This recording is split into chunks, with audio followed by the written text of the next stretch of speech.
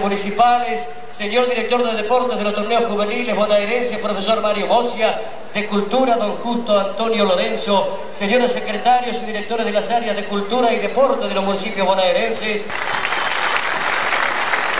Autoridades presentes en este magno acontecimiento, queridos jóvenes, muy queridos bonaerenses. Sean mis, primeras palabras para felicitar a casi un millón de jóvenes que este año en la etapa municipal y regional han participado de estos torneos que por su magnitud no tienen antecedentes en nuestra historia. Pero quiero también agradecer muy especialmente a todos los intendentes municipales de nuestra provincia, que trabajando codo a codo con el Instituto del Deporte Provincial, dependiente del Ministerio de Gobierno, han hecho posible que este año lleguen aquí a la final 46 mil jóvenes de todos los municipios de la provincia. Están presenciando hoy ustedes el desfile deportivo más numeroso del continente. 46 mil, repito, jóvenes de nuestra provincia. Y como todos los años, el día inaugural, quiero expresarles a la familia de mi provincia cuál es el motivo de su organización. Hemos puesto en marcha lo que se denomina prevención indirecta o inespecífica, es decir, crear centros de interés positivos para nuestros jóvenes que sean tan o más atractivos que los vicios sociales que agazapados los esperan apenas terminan el colegio primario. Y esta acción debemos mantenerla e incrementarla.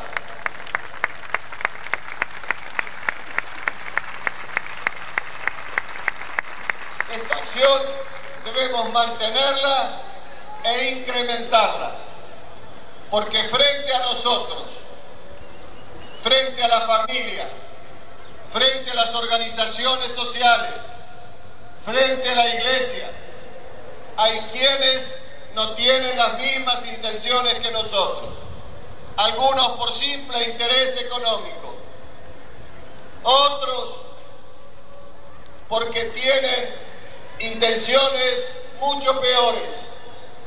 Están intentando captar a los jóvenes para convertirlos en meros instrumentos de consumo.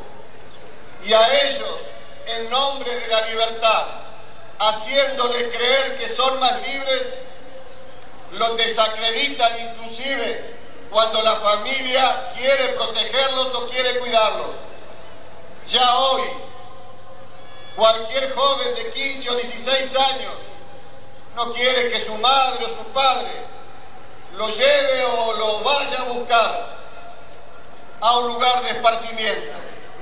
Parece que esa desacreditación de lo que es la tutela familiar ha hecho carne en nuestra juventud. Pero aquí estamos los que sabemos que tenemos que transmitirle una nutriente, la misma que nos transmitieron nuestros mayores, que es nada menos que el amor, los valores y los límites. Y de esa forma ayudaremos a crecer sana a nuestra juventud.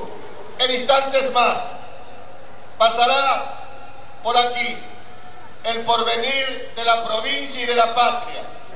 Hagamos todos juntos que nuestros jóvenes sean como queremos, cada uno de nosotros, que sean mis hijos o nuestros hijos, fuertes, sanos y libres, pero con una libertad, con una libertad que debemos transmitirle, que tiene un límite, un límite preciso, un límite infranqueable, que es la libertad y el derecho del prójimo. Una libertad que tenga que ver con la responsabilidad. Eso vamos a hacer juntos en nuestra provincia. Ya comenzarán a desfilar. Desfilará lo que más queremos. Desfilará lo que más amamos. Y en todos los rincones de la provincia, las familias bonaerenses estarán viendo que en esta semana, en esta querida Mar de Plata, están nuestros hijos compitiendo. Que Dios, nuestro Señor, les dé fuerza, los bendiga y nos ayude a nosotros, a estos jóvenes que además fueron los creadores de esta bandera, que es la bandera que es el símbolo de unidad de todos los bonaerenses. Que Dios los bendiga. Damos por iniciado el desfile inaugural de los torneos juveniles bonaerenses edición 1997. Y en el inicio, la promesa del atleta Juan Carlos de Bastos, del municipio de General Pueyrredón, campeón de los...